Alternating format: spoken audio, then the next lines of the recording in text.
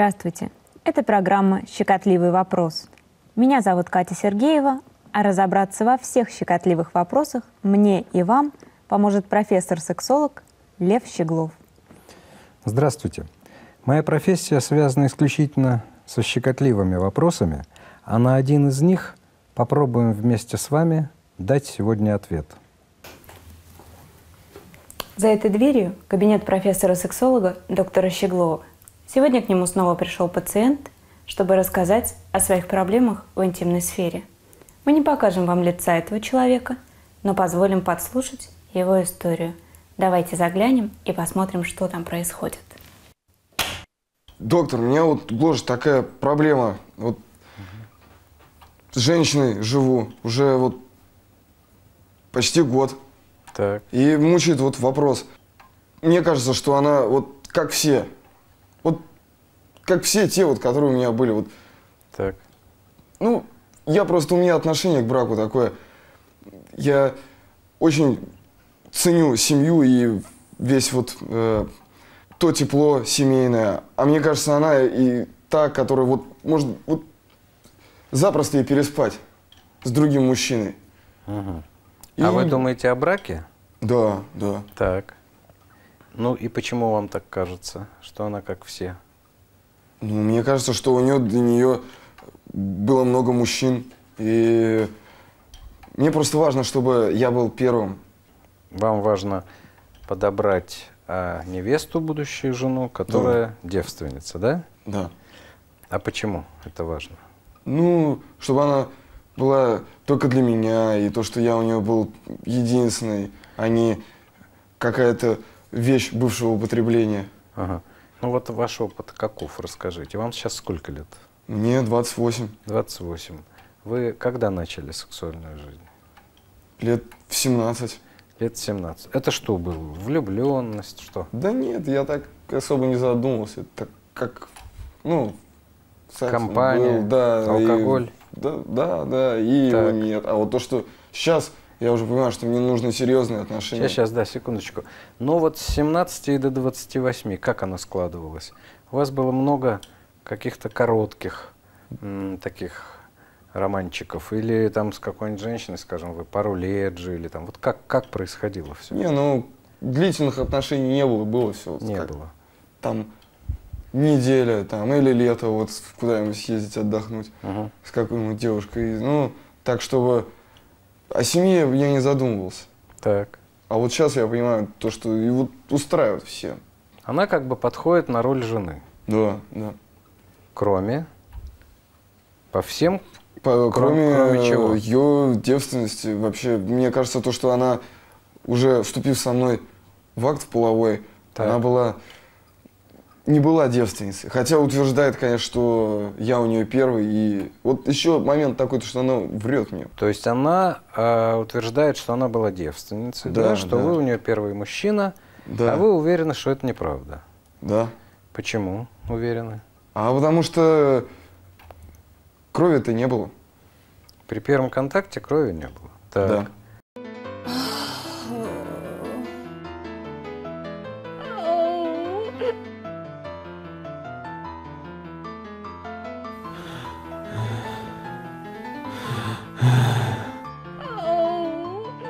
Человек вообще правдивый или немножко лживый такой?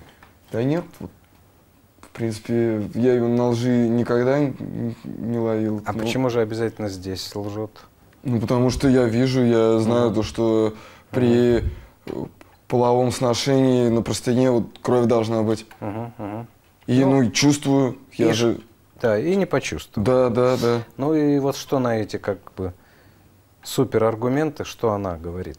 Ну вот вы же и тоже, наверное, говорите, зачем же ты меня обманываешь, когда вот так ничего нет? И ну, она говорит? вообще клянется, то, что я у нее единственный, первый. Ну, и- вдруг она действительно имела до вас какого-то молодого человека.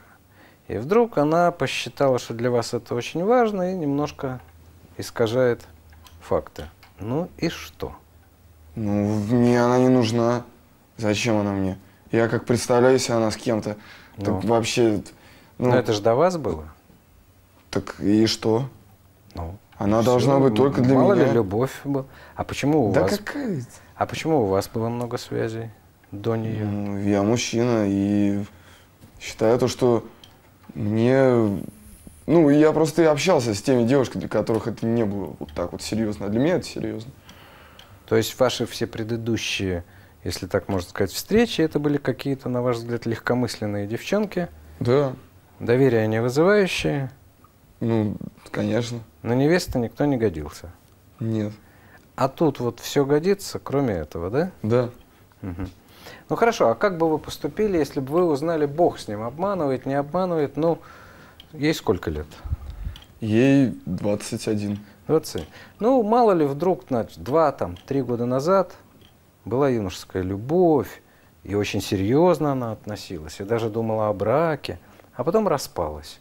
И была у них интимная связь. До Ну. вас два года назад, три года назад.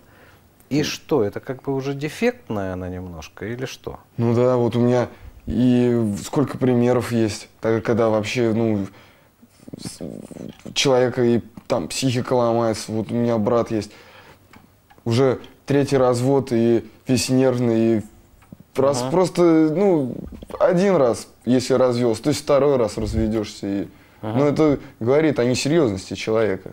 Мгм. То есть брак должен быть стабилен, Да, стабильный, крепок. раз и навсегда, Да. и он гарантирован тем, что женщина имеет единственного сексуального партнера, своего жениха, а потом мужа, так? Да. Может быть, вот теоретически, предположим, 1% из 100, что ваша невеста. Говорит правду. Такое Ну, теоретически, ну, возможно? конечно, все возможно.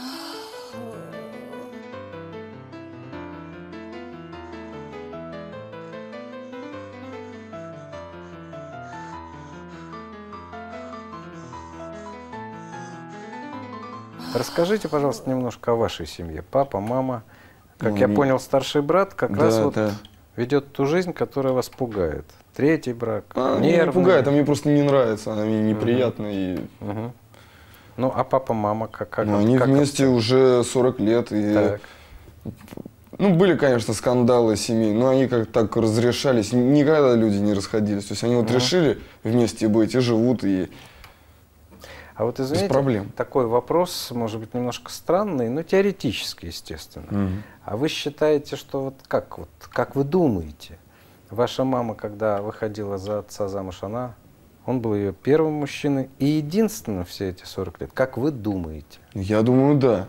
Но я, конечно, у меня нет достоверных сведений, но я уверен на все так может быть 100%. нет или все-таки да? Я- да, да, я знаю своего отца. Мгм. Он очень... У него очень такие устои, понимаете ли, Мгм.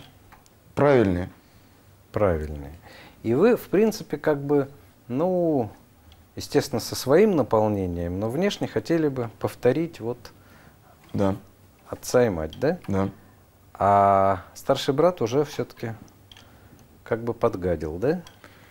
Ну, это его личное дело. Естественно, но у Ну, него не получилось повторить. Да, ну, у него не получилось. И поэтому я не хочу, смотря на его жизнь, Мгм. повторять его Мгм. ошибки. Хорошо. Ну, а какие, в общем-то, мысли у вас были в отношении перспективы вот у вас с невестой? Вы пришли просто м, посоветоваться или вы внутри себя решили, нет, все-таки если еще раз утвержусь том, что у нее были мужчины, нет, она не может быть женой. Или же вы пришли сюда, чтобы вот подумать, есть у вас готовые для себя рецепты? Или вот вы сомневаетесь, как вам быть? Я сомневаюсь. Я к ней очень хорошо отношусь. Так. Но вот этот момент, конечно, я стараюсь об этом не думать. Мгм. Ну, А как-то... само думается? Да. Отвлекаюсь от дел. Это очень мешает. То есть это вас изнуряет буквально? Не сплю иногда, сон пропадает. Вот, Не ем. Настроение, да. Да, да. С кем-то обсуждали вы это?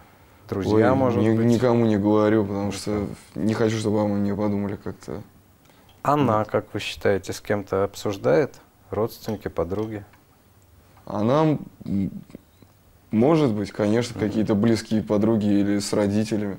А вы часто все-таки вот с этой темой к ней все-таки? Ну вот признайся, ну хватит обманывать меня. Или это так? Стараюсь не часто, но получается часто. Что Ну вот и как она на это реагирует? возвращаешься. Вряд ли ей радостно. Ей не радостно. Ну, если не радостно, то... Ну, она меня тоже любит. Хорошо, Максим, а давайте так. Мы обсудим вашу проблему. Она решаема.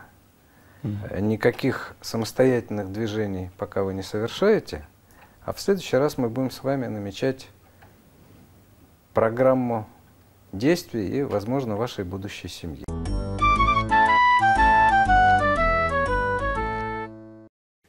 Ну, я безумно вообще зла, раздражена. Если бы у меня была сковородка, сейчас бы я туда ворвалась, и этому Максиму бы этой сковородкой так настучала вообще. Почему? Ну, потому что это какое-то поведение, мягко говоря, неприличное. Человек, который с девушками там, значит, проводит по неделе, еще Мгм. будет мне тут выступать и говорить, что ему подавать девственницу, а если она не девственница, то все, в жены, значит, мы ее не возьмем, потому что она, как он там сказал, бывшее в употреблении, вот на себя Мгм. пусть посмотрит, тоже мне, Мгм. бывшее в употреблении. Сам там, между прочим, уже такое БУ. А это не есть отражение того, что надувает современная культура? Быстрые короткие связи, резвись, наслаждайся. А вот жениться он хочет э, на совсем другой барышне. Ну, а кстати- что в этом ужасного? Современная культура вроде как ничего такого про женить на барышне девственнице не насаждает. Так это реакция. Это реакция на то, что я не хочу э, э, э, жениться на той, который вот, да, я сам хорош. Ну, Это какой-то уже такой- Но, но ведь со мной кто-то был из женского пола, и вдруг они все такие, а я не хочу, э, чтобы моя будущая жена была вот таковой. Нет, ну это какое-то просто такое это сказочное свинство называется. Потому что, знаете, завтра придет его жена и скажет, «Ты знаете, что у меня муж какой-то, бывшее употребление очень. Как-то не подходит мне. Надо бы его выгнать в шею. Возьму себе нового, почище, хорошего. М. Нет, ну, я так поним- мы далеко я зайдем вообще. Гнев понимаю, но только ведь не, не, не, не он один виноват. Это ведь как бы реакция на ту замечательную жизнь, которая есть. Мне так кажется. Ну, знаете, тут надо, вот на мой вкус, определиться. Либо ты ведешь такую жизнь, потому что если бы он сказал, да, я жил там затворником в монастыре, Да-да-да-да-да. э, вот вышел, значит, одухотворенный, мне 29 лет, хочу девственницу, как бы вот такую же чистую, И что, непорочную, тогда, как я. Тогда хочу девственницу Тогда- менее нелепо? А, тогда менее нелепо, потому что тогда человек имеет определенные да, свои конкретные моральные устои, которые он блюдет. Да, и хочет человека Ну, с понятно. аналогичными моральными устоями. Когда Да. человек Есть гуляет логика. днем и ночью, говорит, а я вот не хочу, что-то она какая-то такая.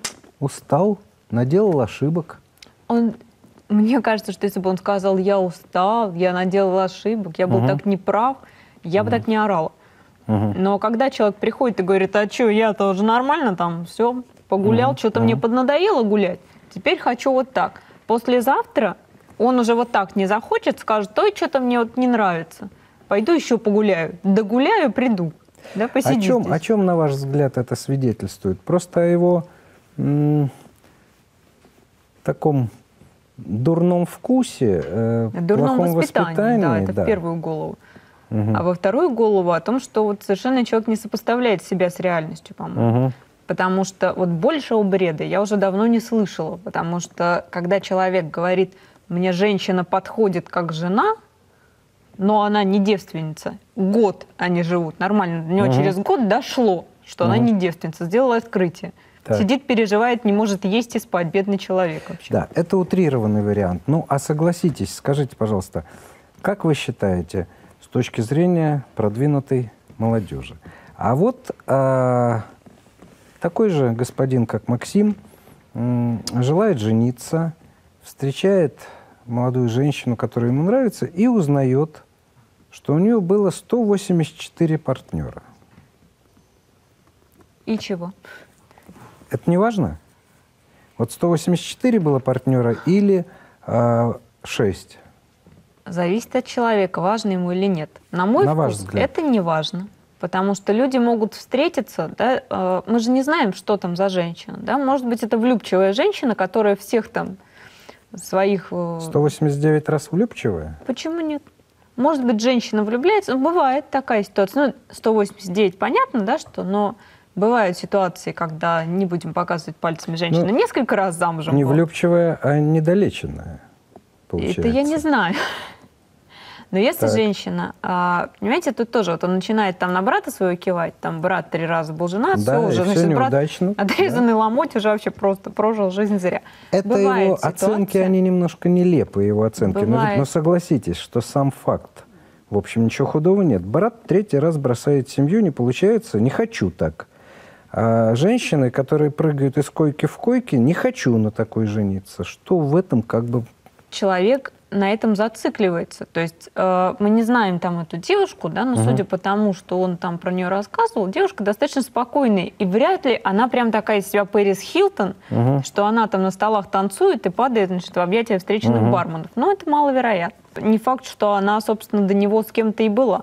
О, это мы тоже здесь не можем есть второй утверждать. вопрос, да. Как вы, как вы считаете, она обманывает его? И я там как бы и говорил, даже если и обманывает, зная его особенности, в этом нет ничего, ничего чудовищного. Но вряд ли она такая вот прям клиническая идиотка, что она не знает прямо симптомов значит, потери девственности. почему же их нет? распространены. Почему же их не было? Э, Я думаю, что вы как специалист лучше на этот вопрос Так. ответите. Но в А специальной на ваш литературе я читала, Так. что и такое возможно у женщин, которые занимаются спортом там, Да, как да, бы, и да, так да. далее. Что возможно, что, в общем, это никак не связано с Мгм.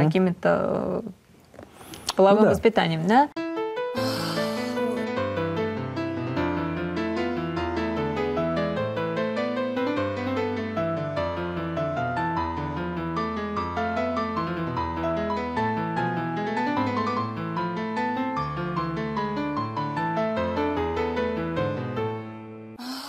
Это женщина бедная, несчастная. Я бы на ее месте вообще от этого Максима бы бежала уже подальше, потому что он задолбает ее. Вот как в моем любимом анекдоте, да, как помните там любовь? А бабка любовь? с деткой, да? Как Да. вспомнишь, и не девкой взял. Вот это у них будет просто там через 80 лет, он может будет ей лупасить там может по лбу быть. сковородкой, кричать, вот как вспомню, там переживать. Ну куда? Да не надо это все. Потому что человек, который способен противопоставить свой какой-то вот дурацкий совершенно бессмысленный загон, Мгм. а, поставить вообще на кон вот эту семью Да, потенциально. Для вас он сомнителен в роли будущего мужа. Он вообще для меня сомнителен. Мгм. Какой-то вообще на редкость. Вот редкостно сомнительный Максим. Понятно. Не понравился. Абсолютно. Значит, просто. ну вот э, специалист не имеет э, права на такую роскошь, чтобы кто-то нравился или не нравился. Э, скажу так, здесь две проблемы. И первая, это действительно вполне вероятно, что она таки была девственницей. И просто Максим действительно не знает того, а, чего не знает большинство вообще людей. Что девственная плева которая является основным свидетельством непорочности и девственности, она бывает 24 видов. Мама дорогая. И Это даже как- я не знала. Да, и как с одной стороны есть случаи, когда девственной плевы невозможно лишить при совершенно нормальных сексуальных характеристиках, и иногда обращаются к гинекологу для хирургического иссечения, потому что она плотная, известкованная, особенно когда в позднем возрасте начинают э, сексуальную жизнь. То с другой стороны, есть действительно те случаи, когда плева анатомически так устроена, что ее отверстия для менструальных выделений э, настолько велики, что фактически как бы это, это не пленка. И действительно нет ни крови, ни боли, мужчина ничего не чувствует, а, а для э, девушки это совершенно точно первый раз. И есть случаи, о которых вы совершенно справедливо упомянули, и они не так уж редки, когда девочки а, получают некие травмы до начала сексуальной жизни из-за спорта, гимнастика, прыжки, конный спорт, из-за случайных каких-то манипуляций, то есть как бы действительно плева на- нарушена, а никакой сексуальной жизни не было. И это желательно, чтобы очень многие знали. Поэтому А меня- я не исключаю, что она совершенно искренне говорит ему, правда, ты у меня самый первый, а он говорит, а где же вот это вот все? А у меня возник важный чувственный Мгм. вопрос Да. к мужчине. Да. А действительно это ощущается? У нас у девочек как бы нет такого? Чаще ощущаются, конечно. То есть это это же все-таки мужчина- некоторая преграда, которую нужно преодолеть. И э, чаще всего мужчины это чувствуют, если они вообще способны что-то чувствовать. С чем Вот сопоставимо? В этот момент. Преодоление преграды сопоставимо с, с тем, когда ты любой частью своего тела что-то преодолеваешь. э, и, в То общем, есть, когда бумагу пальцем вполне. протыкаешь, близко, скажем. аналогично? Вот. Но, конечно, основная проблема – это та его утрированная позиция, которая... Я согласен, что она утрирована, но все-таки она во мне не вызывает такого гнева, как у вас, который я тоже понимаю. Потому что у него утрировано то, в чем, в общем-то, э, можно сказать, есть суть очень многих мужчин. А, Разделение э, это, это, конечно, хахамство, можно сказать. Но, увы, культура так устроена, что мужчина и женщина категорически неравноправны. И в данном случае есть такая мужская психология, что женщина, она была когда-то в средние века сформулирована. Потом ее один известный такой Отто Вейнингер, который написал единственную книгу «Пол и характер», фантастическую по глубине, в 20 с чем-то лет написал, покончил жизнь самоубийством, трагическая фигура. И он писал о том, что женщина в основном перед мужчиной предстает в двух ликах. Либо это Мадонна, в скобках, мать, сестра. То есть Родина мать, олицетворение всего женственного, по отношению к чему сексуальные мысли – это гнусность и ужас, и невозможно. Чистый образ. Либо вавилонская блудница. Вот такое разделение как бы женщин на супер светлое И супер темный. и супер ужасно чувственное, темное. А жена это как бы навсегда, видите, у него какие мысли, значит, он ее вводит в рамк таких мать-сестра. Поэтому представить себе, что моя жена, мать моих будущих детей, хранительница моего оч- очага, извивалась с кем-то в потных конвульсиях, я не могу этого себе позволить. Это первое. А значит, с другими извиваться он себе может позволить. Да, потому что он мужчина. И- я... А типа, что те тоже за кого-то должны замуж выйти, Это уже логика, не да. трогай. Я говорю о том, что корни этого не в том, что он просто какой-то такой э, неполноценный тип. А у него утрировано это, безусловно, безусловно, но корни, они психологичны. Второе. Второе. А, вы знаете, девственность, она же всегда имела символическое очень значение. Очень важное. Что такое дефлорация? Срывание цветка в дословном переводе. Да? Значит, откуда вот право барина на первую брачную ночь? Откуда это все идет? Это некий символ чистоты. Вот сорвал цветок, и уже остался засыхающий какой-то грязный корешок. Спасибо. Увы, так устроена мужская психология. Это, не- это нехорошо, это не толерантно, это не модно, это не демократично. Но корни этого там.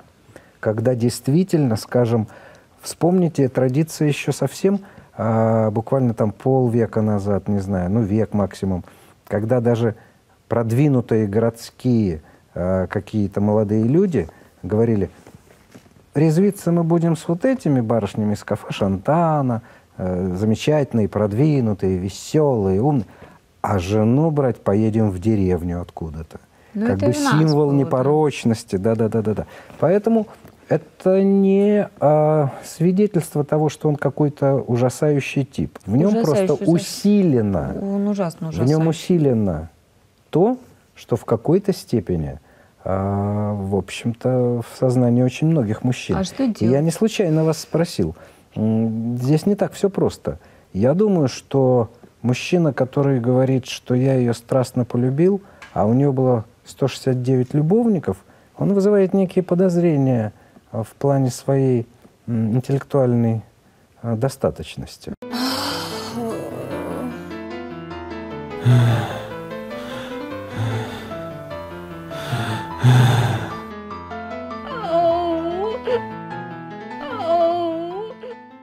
А что делать-то вот в нынешнем раскладе? То есть мужчина, у которого было 169 женщин, что пусть проверится, сходит, между прочим, Так, да.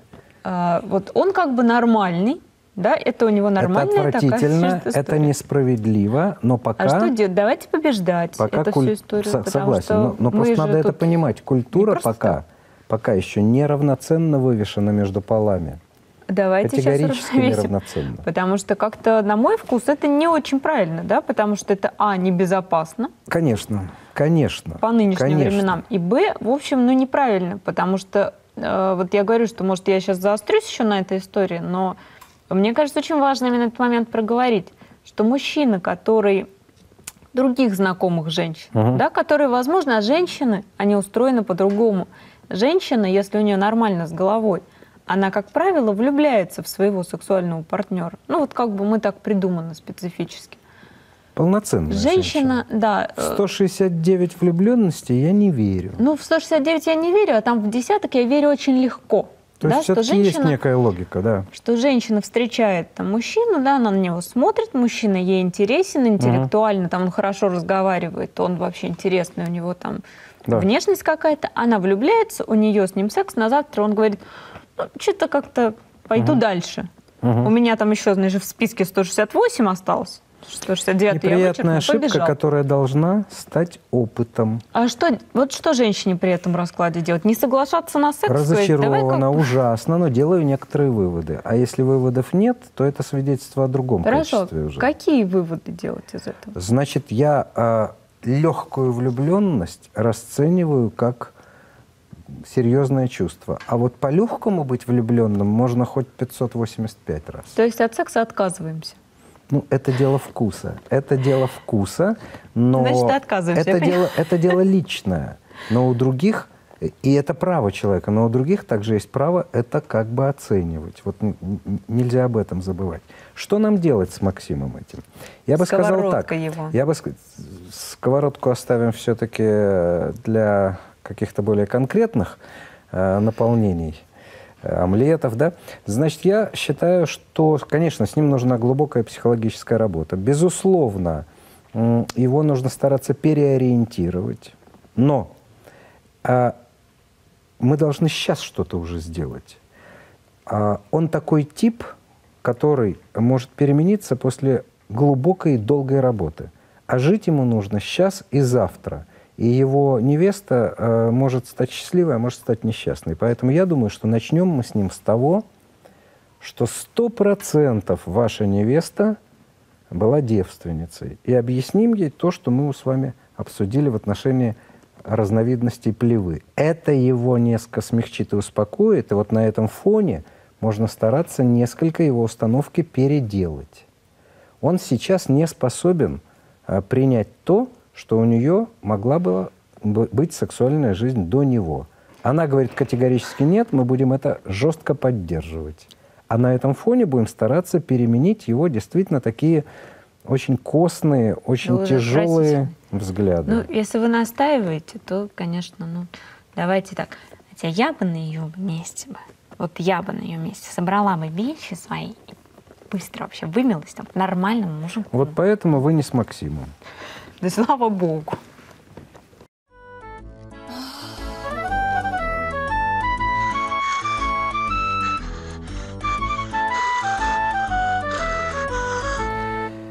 Итак, один из щекотливых вопросов мы сегодня постарались разобрать. Дальнейшие щекотливые вопросы будут нами обсуждаться в следующих программах. До свидания. Пока-пока. Увидимся.